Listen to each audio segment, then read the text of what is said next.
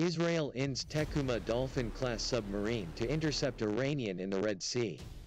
The Israeli Navy wrapped up a complex and lengthy submarine drill in the Red Sea on Thursday morning, the military said. Defense commentators characterized the publication of the drill's details as an apparent message to Iran. During the exercise, the INS Tekuma Dolphin-class submarine was escorted by Saar 5 and 4.5 class corvettes in the Red Sea, in a drill simulating achieving maritime superiority, the Israel Defense Forces said. The drill aimed to attain that goal while maintaining maritime freedom in the Red Sea and increasing the operating area of the Navy, according to a statement. The drill came during a major month-long exercise dubbed Chariots of Fire, the military's largest in decades.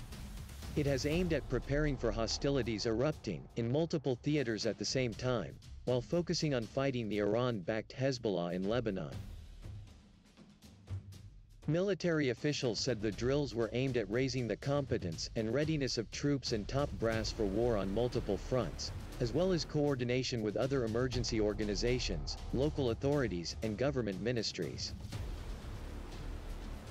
In November, the Israeli Navy participated in a U.S. Fifth Fleet-led exercise in the Red Sea, alongside the UAE and Bahrain, in what Israeli officials said was meant to serve as a response to recent attacks by Iran against Israeli naval assets.